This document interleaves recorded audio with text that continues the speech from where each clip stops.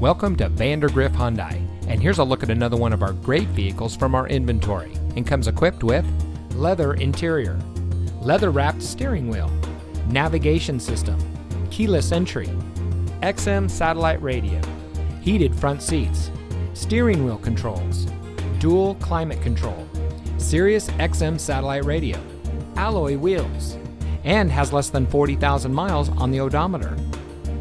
Since 2006, Vandergriff Hyundai has been a proud member of the Vandergriff family of dealerships, who have been providing unbeatable service to our communities in North Texas for over 75 years. We are dedicated to treating all of our customers with respect and always emphasize the importance of integrity and teamwork.